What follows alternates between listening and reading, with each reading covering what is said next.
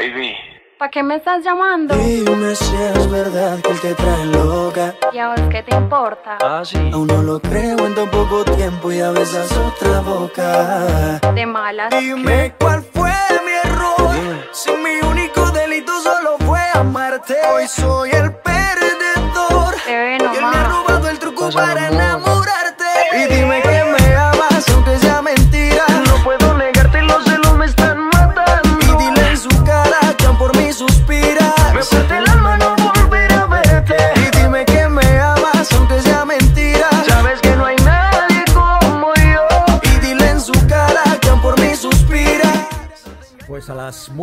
Estamos caminando por las calles de Belorado, en la provincia de Burgos, en un día que está refrescando, pero eso es señal de que probablemente el sol eh, lucirá y calentará de lo lindo. Hemos pernoctado en el albergue El Corro, que es uno de los albergues municipales donde por 8 euros puedes dormir y por 9 ayer nos dieron una cena comunitaria, muy rica por cierto. Voy acompañado de Greta. Hola Greta. Y de Claudia, que está ahí bien abrigada porque, como digo, refresca.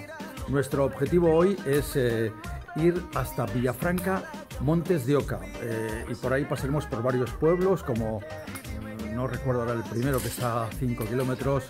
Luego sí está eh, Villavista. Después de Villavista, ¿recordáis algún pueblo más? Villavista. eh, bueno, cuatro o cinco pueblos que iremos descubriendo e iremos enseñando para poder compartir esta experiencia de andar poco a poco tras la flecha amarilla. Cuando tomábamos, lo hacíamos, filmábamos y veíamos. Éramos dos locos sin saber para dónde íbamos. Pero son cosas del destino. Al pasar el tiempo, tú cogiste tu camino. Claro que tú mereces a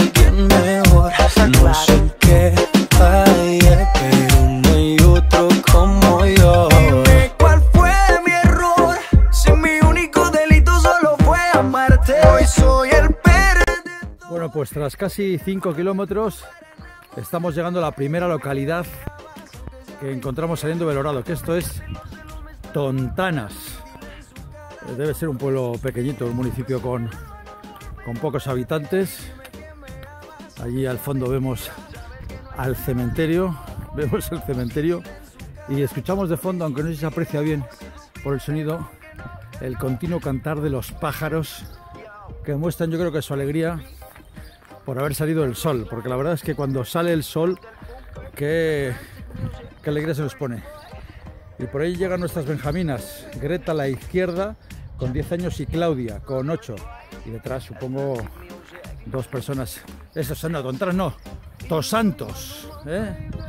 Tosantos.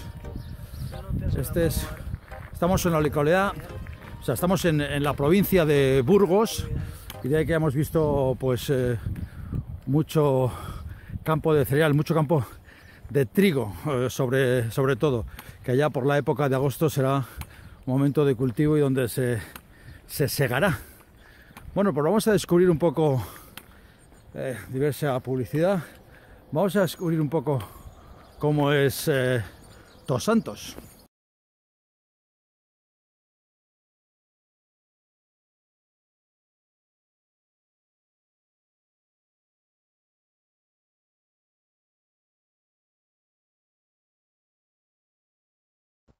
Bueno, desde luego que las ventajas de caminar son muchísimas. Y buscarse cualquier excusa para hacer cualquier tramo de cualquiera de las rutas que hay y que existen por la península ibérica u en otros eh, confines siempre es una buena excusa para disfrutar primero de una cosa que habitualmente no hacemos, que es de uno mismo, o sea, reencontrarse en esa especie de viaje introspectivo que todos tenemos pendientes y que aunque suene muy filosófico y nada frívolo, les puedo asegurar que es... eh, Tras aproximadamente mm, unos dos kilómetros hemos dejado atrás el pueblo de Tosantos en Burgos y esto que estamos eh, viendo aquí, supongo y sospecho que tiene que ser Villavista. Y me imagino que recibirá este nombre, solamente lo intuyo, porque eh, desde luego está en una pequeña altura y bueno, pues las vistas que se ven son francamente gustosas y vistosas. Es un, pueblo vistoso. Ya vemos aquí iglesias, siempre que la flecha amarilla, siempre hay una iglesia. Vamos a ver cómo es eh, Villavista. Bueno, pues aquí estamos, un descanso en el camino en Villavistia, a ver si lo pronuncio bien, Villamvistia, eh, aunque no sé dónde tiene el, el acento esta localidad, destaca porque tiene un rico patrimonio religioso, como son la iglesia parroquial y la ermita de San Roque. Villamistía posee un singular patrimonio industrial que se refleja en las bocas de los, eh, de los antiguos eh, minas que había de, de manganeso, lo que se suele utilizar un poco para, para las pilas, para que las pilas tengan pilas. En las proximidades de la misma se puede disfrutar de extensos encinares y de robledales que se convierten en paisajes privilegiados para la práctica del, del senderismo, como por ejemplo son puesto el Camino de Santiago, los parajes naturales de la dehesa del Cerro y el Corral de los Bueyes, donde encontramos un poco los quejigos de un considerable porte. Bueno, esto es Villambistía, ahí en eh, la provincia de Burgos. Bueno, supongo y sospecho que tras estas piedras y mi sombra, esto que estará aquí se llamará Espinosa del Camino, otro pequeño pueblo de Burgos. Si, si estáis pendientes escucharéis que justamente por aquí a la izquierda entra sonido de carretera, de camiones, porque estamos junto a la carretera. Espinosa del Camino es una pequeña localidad, como digo, de, de Burgos. Yo creo que ahí se- ya se ve el, el cartel. Y justo a la entrada de Espinosa nos hemos encontrado con dos chicas desde los Estados Unidos. No recuerdo, ¿tu nombre era? Hola, Annika. Annika. Me llamo Annika. Aneka. Y ella era Joana. Joanne. Joana, de San Francisco y de, Idaho. de Idaho. Y con ellas hemos venido, bueno, sobre todo ellas, Esta es mi hija. tu hija. Mi madre. hija- bueno, ellas. y Ella es bonita. Y venimos caminando y vosotros decíais que habéis hecho el camino porque visteis la película, a ver, yo me pierdo, seguidme. La- visteis la película Sí, de Way The hace, Way. hace tres, eh, tres años y aunque vais sin mochilas, tenéis previsto eh, llegar hasta, Próxima. hasta la próxima porque os han, habéis contratado, un, hay servicios de, de, de mochilas y empezasteis en San Juan, Pie- San Juan, San Juan de Ortega. San Juan de, no, pero empezáis el camino en San Juan Piedeport, en Francia. Ah, sí, de Port, sí. En San Juan eh, eh, pierde por. Bueno, pues lleváis unos cuantos kilómetros. Yo supongo que será eh, por aquí. Y vamos a descubrir un poco cómo es. ¿Estáis dispuestas a descubrir cómo es este pueblo? Vamos a ver cómo es Espinosa del Camino.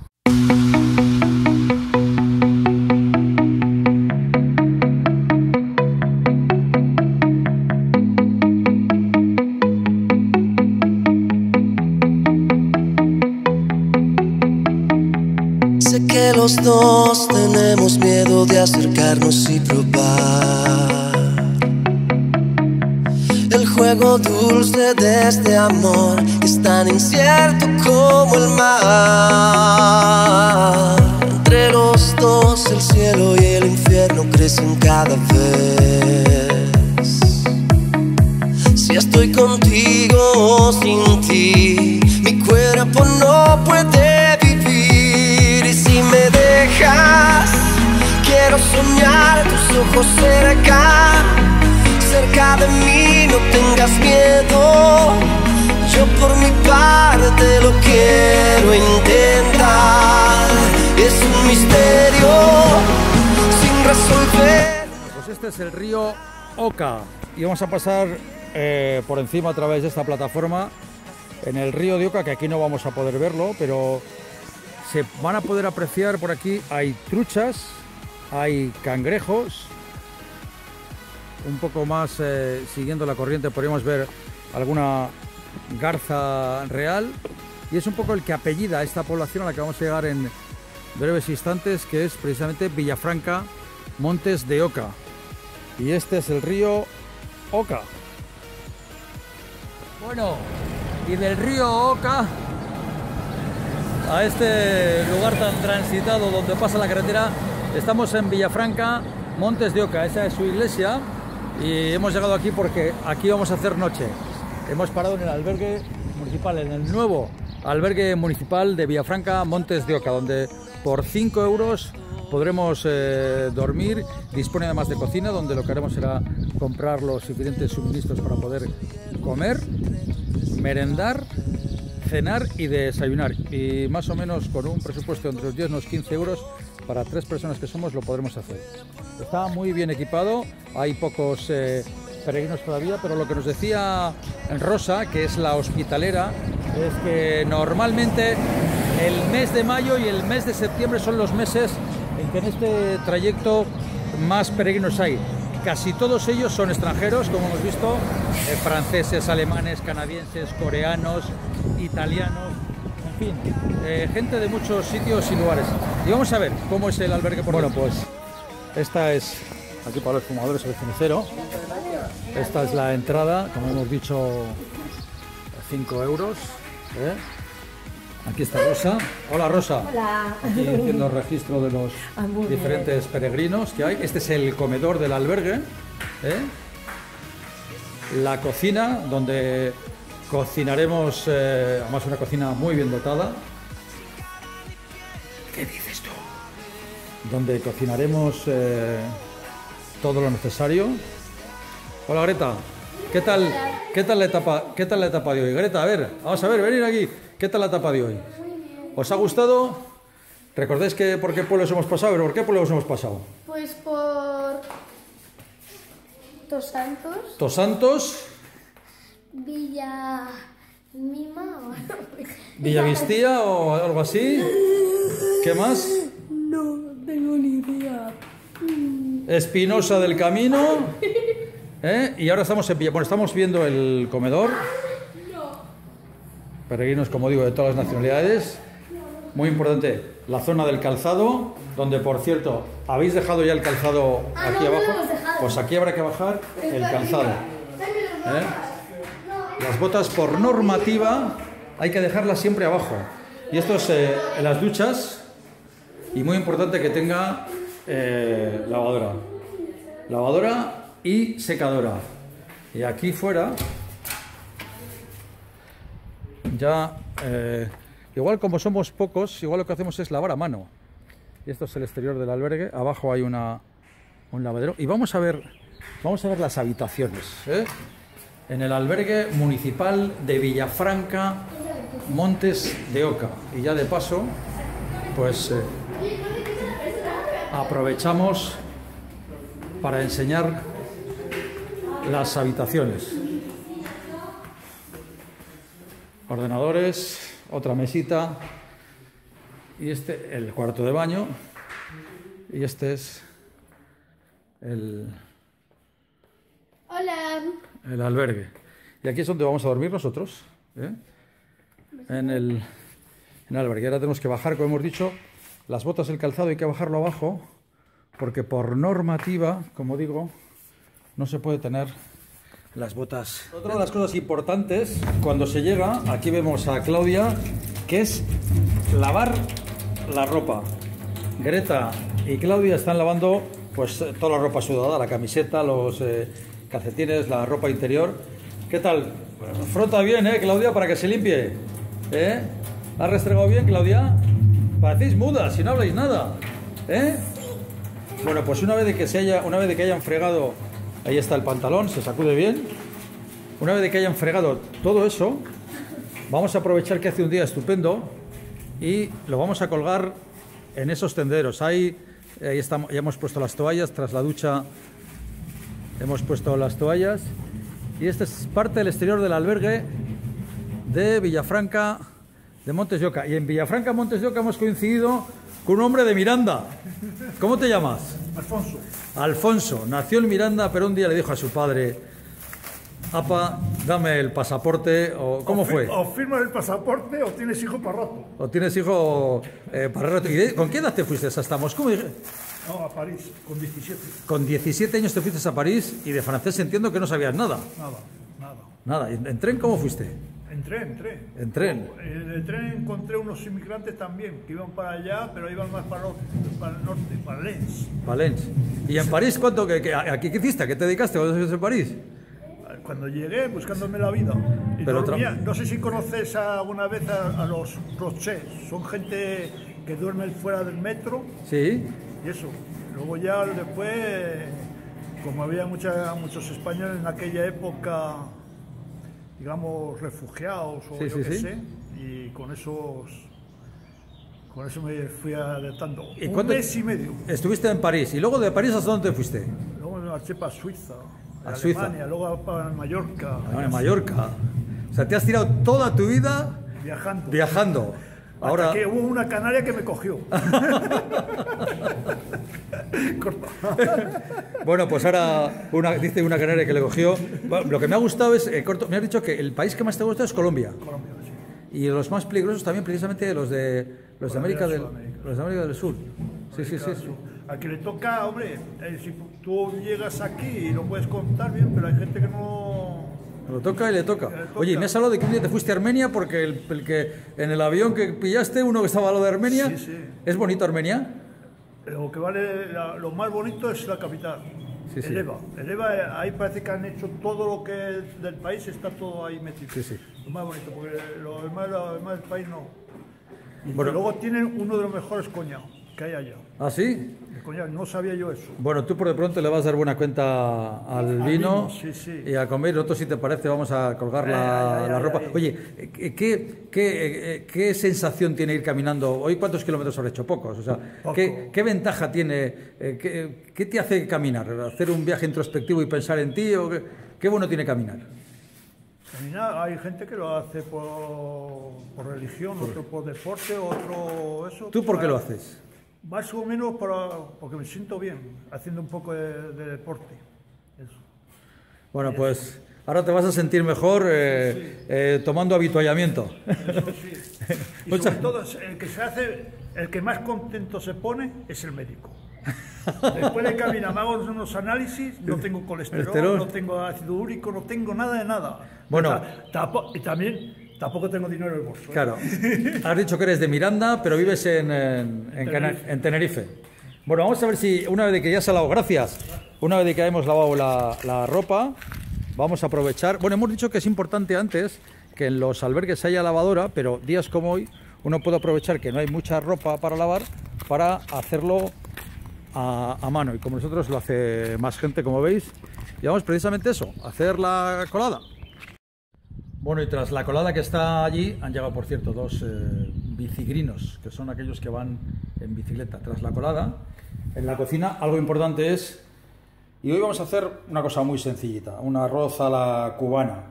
Y por ahí hemos puesto, porque invitaremos probablemente, aparte de la gente que ha venido, eh, algo tan sencillo como, bueno, pues primero he sofrito un poquito de cebollita para que le dé gusto, después he incorporado el arroz, dos tacitas de estas de, de arroz, ¿eh? dos tacitas de esas arroz en cada cazuela, ¿eh? en cada cazuela. Y luego ya sabéis que es que por cada taza de arroz, dos de agua. Y esto vamos a hacerlo aproximadamente unos 20 minutos eh, hirviendo. Luego en esta sartén haremos unos huevitos y luego pues aquí hay que tirar de tomate del tomate del supermercado para hacer arroz a la cubana. Y lo que sí he comprado es unas albóndigas. Unas albóndigas que están por ahí en ese para hacerlas con un poquito de, de este tomate. ¿eh? Muy importante la comida. Hemos comprado una sandía porque estamos en verano para comenzar. Siempre es bueno empezar por la fruta porque luego, y aquí está parte de la mesa preparada en el comedor, ¿eh? como digo, para disfrutar. Otra parte del camino es esta, es cocinar en aquellos sitios donde se puede, porque en algunos no hay cocina, y disfrutar de la comida, alimentarse bien para reponer fuerzas y seguir el camino.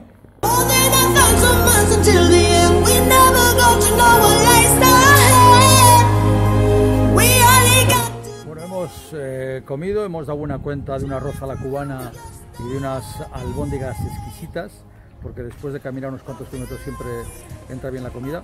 Y vamos a conocer ahora el pueblo de Villafranca Montes de Oca, que ahí a contraluz no se ve bien, pero poco a poco vamos a ir descubriendo los diferentes sitios y rincones de este pueblo en el que hoy vamos a dormir para mañana emprender, eh, emprender de nuevo camino hacia otro destino que será San Juan de Ortega. Vamos a conocer entonces Villafranca, Montes de Oca. Bueno, pues eh, Villafranca Montes de Oca, una curiosa historia. De origen romano, bajo la denominación de Auca, Villafranca Montes de Oca es probablemente una de las eh, acogedoras ciudades de- del camino, ya que sus primitivas construcciones se encuentran al sur y poco a poco, en la época de la invasión musulmana y posteriormente, en la Edad Media se conformó un nuevo núcleo urbano al norte. Es por esta razón que los alrededores de Montes de Oca se convierten en una especie de ruta ideal para conocer el pasado y disfrutar de una panorámica con agrestes paisajes como los que se encuentran cercanos a la conocida Cueva de los Moros. Y Villafranca Montes de Oca, esto que estamos viendo ahora, es una de las paradas obligadas en el camino y concretamente la visita a la iglesia del Santiago Apóstol, esta que están viendo ahora, en cuyo interior se encuentra una vieira gigante, una de las obras más singulares de, de la comarca, y merece la pena visitar otras bellas construcciones como la ermita de Nuestra Señora de Oca o el Hospital de Peregrinos de San Antonio Abad, en la actualidad es un, es un hotel como, se puede, como podéis ver, y está anclado en un entorno de una gran belleza natural. Cabe destacar también las bellas dehesas de hayas y las extensas masas de roble de rebollo. Del centro de la localidad parte el sendero de un pequeño recorrido que llaman la P155 de unas 4 horas de duración y una dificultad eh, media. Pero bueno, esto es, y así se ve. Villafranca, Montes de Oca.